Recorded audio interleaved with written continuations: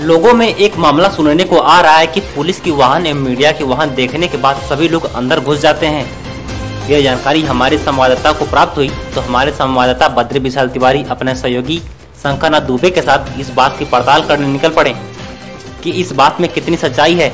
वह एक सुनसान जगह पर अपनी मीडिया वाहन के साथ पहुँचे और देखने का प्रयास किया कि लोगों द्वारा ऐसा किया जाता है या नहीं। लोग अपने घरों से बाहर मीडियम पुलिस की वाहन को देखने के बाद अंदर जाते हैं या नहीं। और इस वक्त आपको दिखा रहे हैं मिल्कीपुर से अमानीगंज के बीच गुप्त स्थान की की गई कवरेज। देखिए पूरी रिपोर्ट। नमस्कार, मैं बद्री विशाल तिवारी नेशनल खबर नाइन जिला चीफ ब्यूरो।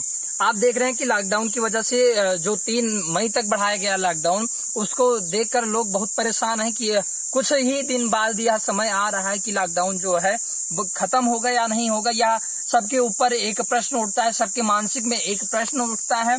मैं यही दिखाने निकला हूँ कि अभी भी जो प्रश्न उठता है उसको दिखाना चाहता हूँ कि यहाँ मैं अभी मिल्कीपुर से अमानीगंज क्षेत्र का दौरा किया हूँ और वहाँ पर हमको कोई नज़र नहीं आया है। और नज़र भी आ रहे हैं तो कोई आपातकालीन व्यवस्था के लिए ही नज़र आ रहे हैं।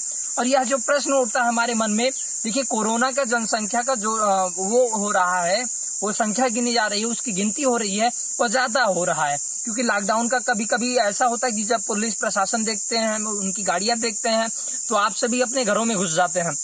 या और कहीं देखा जाता है तो मीडिया की गाड़ियों को देखते ही अंदर घुस जाते हैं।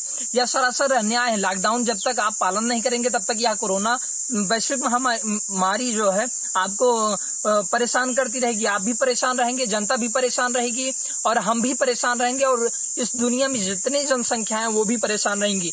मैं दिखाना चाहता हूँ कैमरामैन शंकरनाथ दुबे के साथ कि मैं दूर दूर से आपको दिखाना चाहता हूँ कि कोई जनसंख्या नहीं है। कोई जनसंख्या दिखाई नहीं देती है। और वहीं इस साइड में मैं दिखाना चाहता हूँ अपने कैमरामैन के साथ में कि जो भी होता नज़र आ रहा है कि कोई यहाँ इस रास्ते में नज़र नहीं आ रहा है। मैं अभी इतनी दूर का सफ़र, पंद्रह बीस किलोमीटर का सफ़र करके आ रहा हूँ और कोई दिखाई नहीं दे रहा है। तो आप सभी से भी निवेदन है मेरा कि आप सभी लोग अपने घरों में रहकर जनता कर्फ्यू का पालन करिए लॉकडाउन का पालन करिए, क्योंकि जब तक आप पालन नहीं करेंगे तब तक ये कोरोना वैश्विक महामारी से आप जीत नहीं पाएँगे। और भारत एक ऐसा राज्य है जो एक ऐसा देश है उत्तर प्रदेश जो कि हमको इसमें जीतना है। और हमारी टीम नेशनल खबर नाइन जिस क्षेत्र में पहुँचती है वहाँ उसकी सराहना की जाती है।